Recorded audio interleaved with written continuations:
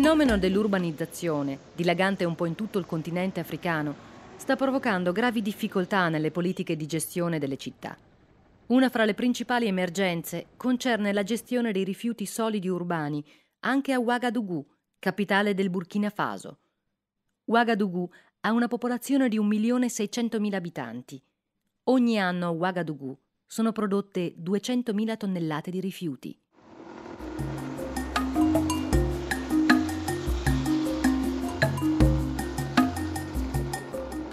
Nonostante i problemi legati alla povertà, l'amministrazione cittadina mette in primo piano le politiche ambientali. Ha elaborato un piano per la gestione dei rifiuti costruendo la prima discarica moderna dell'Africa occidentale. Per mantenere la città pulita, creando al contempo opportunità di lavoro, il sindaco Simone Compaoré ha incaricato un'associazione locale di mille donne, la Brigade Verte, della pulizia delle strade della città due volte a settimana.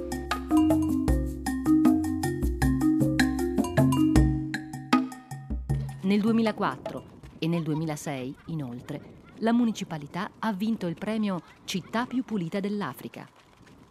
Nonostante gli sforzi delle autorità locali, uno dei problemi che deve ancora essere risolto è quello della plastica. Ogni anno ben 20.000 tonnellate di sacchetti, bottiglie e altri rifiuti di plastica sono dispersi nell'ambiente.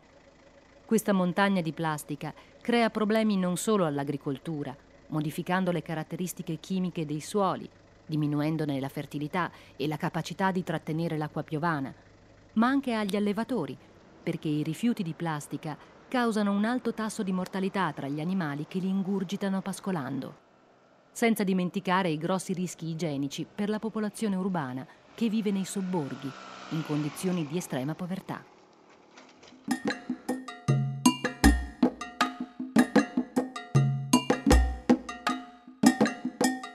Trovare una soluzione sostenibile a questo serio problema, la città di Ouagadougou ha interpellato l'ONG LVA e nel 2004, grazie al sostegno degli altri partner, è stato realizzato il primo centro di riciclaggio della plastica del Burkina Faso. L'idea è questa. Proteggere l'ambiente attraverso un sistema di trattamento della plastica autosostenibile e competitivo sul mercato locale, capace nello stesso tempo di contribuire alla lotta alla povertà creando opportunità di lavoro e di reddito.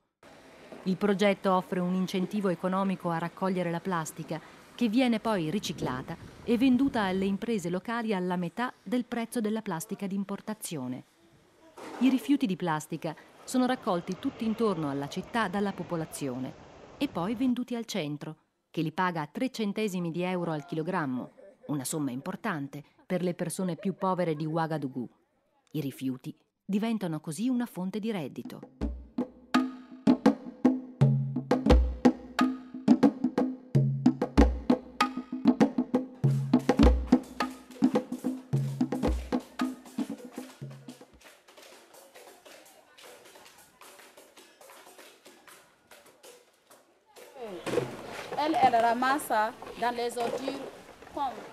Questa donna dice che ha raccolto i rifiuti di plastica in tutta la città e che vendendoli al centro ha potuto guadagnare dei soldi che le permetteranno di comprare qualcosa da mangiare per la sua famiglia. Dal corpo della discarica, questo è normale. Una buona gestione del sito della discarica fa sì che questi... Il centro è gestito da un'associazione di 30 donne, scelte fra le più povere all'interno della Brigade Verte e che sono state opportunamente formate. Dopo la fase di acquisto, le donne iniziano il processo di riciclaggio.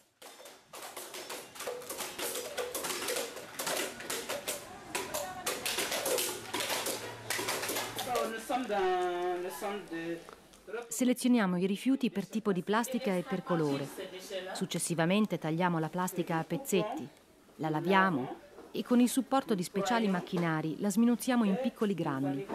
Oggi ricicliamo due tipi di plastica, polietilene e polipropilene, alta e bassa densità.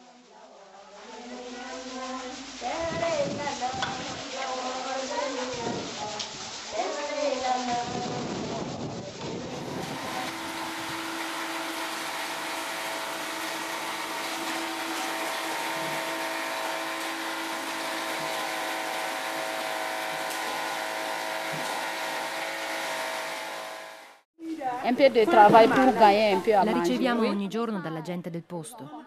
Senza dubbio il progetto li aiuta, perché qui compriamo i rifiuti di plastica e questo denaro permette loro di sfamare le proprie famiglie. Inoltre contribuiamo alla salubrità dell'ambiente. Tutti gli abitanti della città possono quindi godere i vantaggi di un ambiente meno inquinato.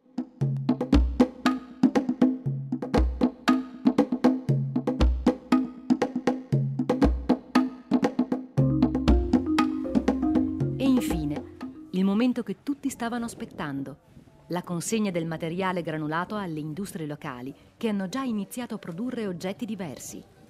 La differenza di prezzo tra il materiale grezzo, i rifiuti di plastica, e il prodotto finale, il granulato riciclato, va a coprire il salario delle 30 donne, dei due guardiani che lavorano al centro e le spese di gestione della struttura.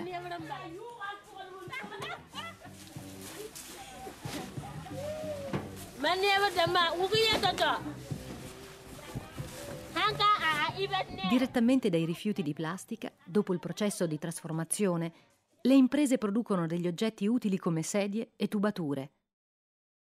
A gennaio 2007, le 30 donne del centro, grazie all'assistenza tecnica della LVA, avevano acquistato alla popolazione locale e stoccato nel centro un totale di 130 tonnellate di rifiuti di plastica, trasformato e venduto a otto imprese e artigiani locali ben 55 tonnellate di granulato riciclato di alta qualità, messo da parte, con queste vendite, circa 4 milioni di franchi SEFA, circa 6.700 euro, cioè accumulato in un conto capitale da utilizzare come fondo di emergenza.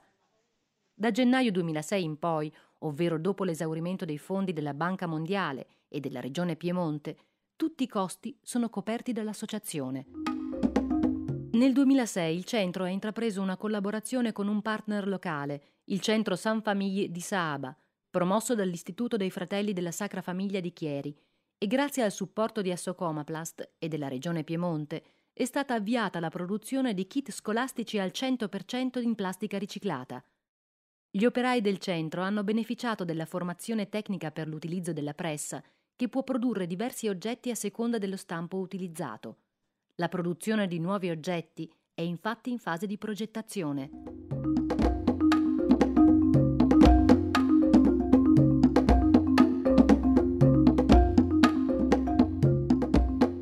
I kit scolastici, composti da righelli, squadrette, goniometri e normografi, sono oggi in commercio sul mercato burkinabè a prezzi molto competitivi e accessibili alla maggior parte della popolazione rispetto agli stessi oggetti di importazione europea e asiatica.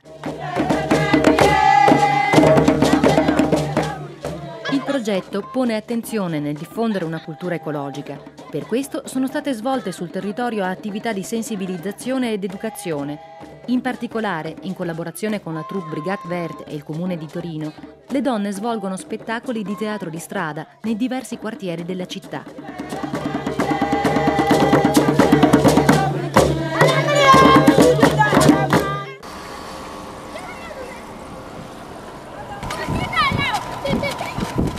I kit scolastici, inoltre, rappresentano un efficace strumento di educazione ambientale questi sono regalati alle classi che, in collaborazione con il parco urbano Bangre Ogo di Ouagadougou, sempre più numerose si recano al centro di riciclaggio per una lezione di educazione ambientale.